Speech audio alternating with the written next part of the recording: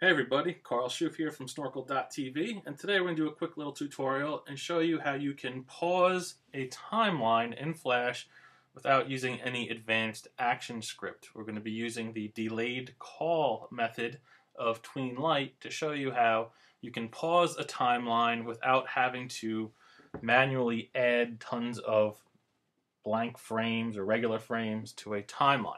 The example that you see running here um, has a very simple animation where all these different um, pieces of text just fade in one after another. Now there's a very short delay between each piece of text coming in.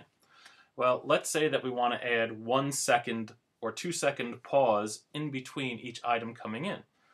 Well, the traditional way of doing that would require taking all these, that was great, little tweens here and sliding them over or adding key um, frames and things of that nature. But let me just show you how this finished file is built. You know, we have a very basic timeline here. Let's get it all on stage, sorry. And you'll see that as I scrub through, just fade in, fade in, fade in, over and over and over again, all right? Um, I'm gonna go to the Actions panel and show you by just changing one little number here, where I have 0.2, I'm going to change that to 1. Test the movie out, and now there is a one second delay between each item animating in. I didn't have to touch the timeline. It is a very simple timeline based animation, but I don't have to monkey with a whole bunch of different frames. Let's change this to three seconds just to show you exactly what's happening here.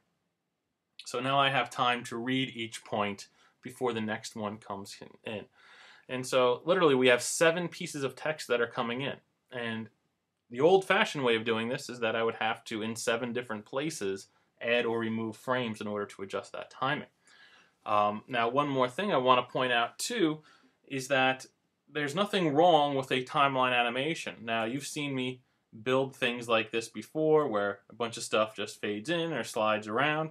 And yes, TweenLite, Tween Max, TimelineMax, those tools are all good, but not everybody is going to understand that stuff right away. So um, I'm always for timeline and action script based hybrids. Uh, so do what you can on the timeline, and then you, you know we're going to show you pretty much the easiest way possible to add a pause to your timeline.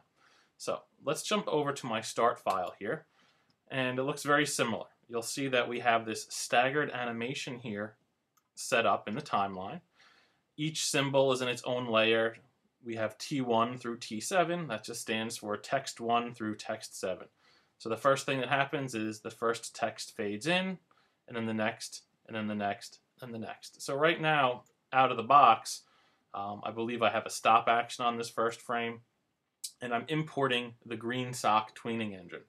Um, if you need a little help with this, this just tells Flash to import all of my TweenLite files and I would highly recommend you watch my introduction to TweenMax, and it will explain exactly where I got those tweening codes from and how I added them to my FLA. Uh, so for now, though, let's focus on the fact that we have a very basic staggered animation. And I'm just going to get rid of this stop here.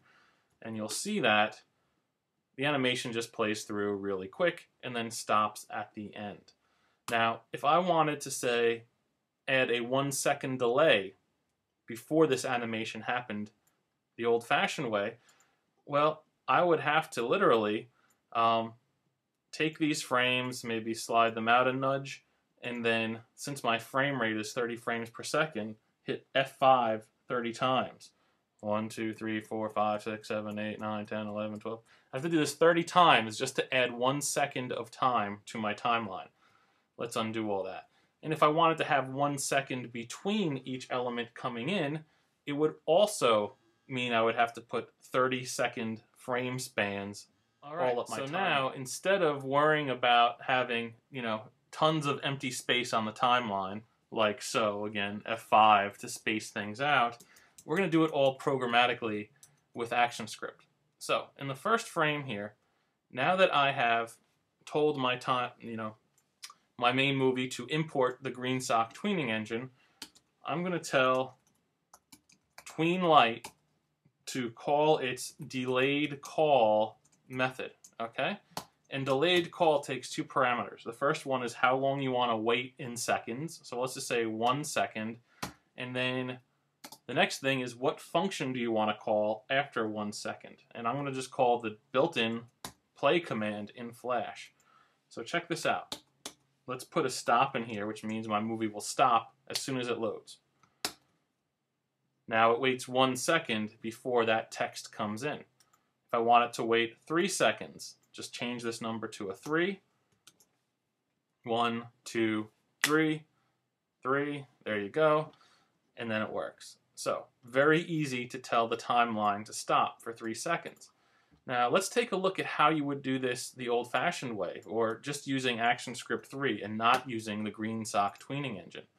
I'm going to paste in some code that's used to create a timer. And a timer um, allows you to call a function at a specific interval or amount of time. So every one second you can have something happen, or every three seconds. And you need all of this. You need to create a timer using new timer. You need to then add an event listener and a timer event. You have to tell the timer to start. You have to define what will happen every time the timer reaches its designated delay, and it's a whole bunch of junk. So there's nothing wrong with that necessarily, but I want to show beginners the easiest and fastest, most bestest way of pausing the timeline, and this obviously isn't it. This right here is. So let's get rid of that huge delay at the beginning, and I'll just have half a second, okay? Well, now what I want to do is be able to very easily say, okay, after the first piece of text comes in, I want to wait for, let's just say, one second, okay?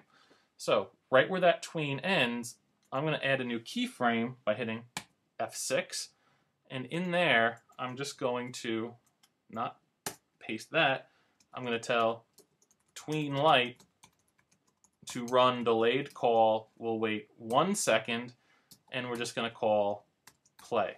So now, after that first piece of text comes in, there's going to be a one second pause. There we go. Well, there wasn't. I also need to tell the timeline to stop. I'm sorry. So we're going to tell it to stop and wait for one second. One. Boom. The rest comes in. Easy breezy. Now let's just say that was the perfect amount of time to wait. Well, instead of copying and pasting this code on all the different ending keyframes, watch this little trick. I'm going to hold down Option or Alt on the PC, and I'm just going to drag that script over to the end of each tween. Okay, so you'll see that this frame, this action script frame lines up with the end of the T4 tween coming in. I'm just going to Option drag, Option drag. All right, so now one, one, one, one. You'll see we have my delay. Now, really, that's all you need to know. But we're going to go the extra mile here. Just, just let's just assume that we want to have a uniform pause in between each piece of text coming in. All right? Because um, right now, if somebody says, yeah, that was good, but why don't you try two seconds? Well, then I got to go back and change this number to 2 in a whole bunch of different places or copy all those frames over again once I've made the change. That's not the best situation.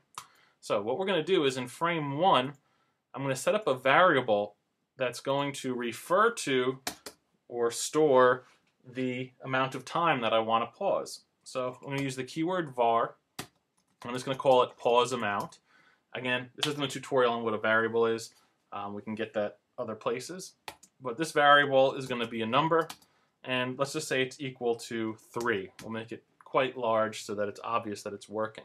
So we're telling Flash that the pause amount, this is the word I came up with, is going to be 3, and in our case it refers to seconds. So let's go back, and I'm going to just get rid of all of these frames that I coded earlier.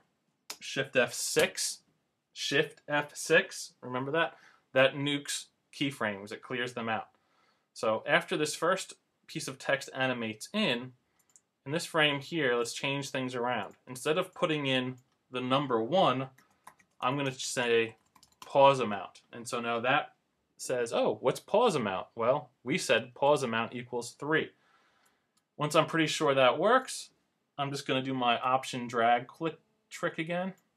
And we're just going to drag these frames over. I'm copying that action script onto keyframes every time a tween ends. Okay, so now let's see what happens. One, two, three, go. One, two, three, one, two, three. Yeah, that's it. Seconds are really quite long. And so now I have a three second delay between each piece of text coming in.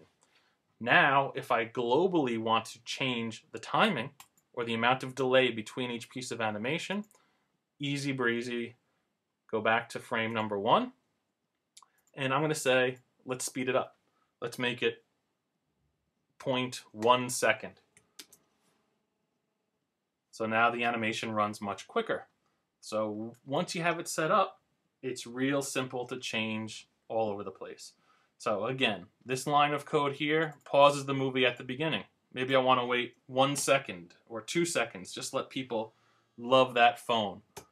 Test the movie. One, two, then the animation starts. At the end of the movie, maybe I want to have it loop after three or four seconds. We can do that too. Go back to the last frame of the movie, and after the stop action, it doesn't matter if it's before or after, I'm going to tell TweenLite to do a delayed call. Whoops. And let's just wait three seconds, and then we'll say go to, actually, let's just do this, hit play. All right, and that's going to take us back to the beginning. Test the movie out. There's our initial pause. Everything builds nicely. One, two, three. Back to the beginning. Pauses again. Rebuilds.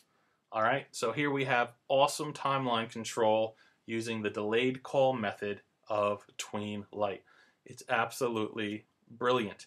Now, some of you advanced people out there might argue, oh, well, instead of having the TweenLite call and the stop action repeated on multiple frames, why don't you just put all that in a function and call that function? Well, knock yourself out, guys. That's great.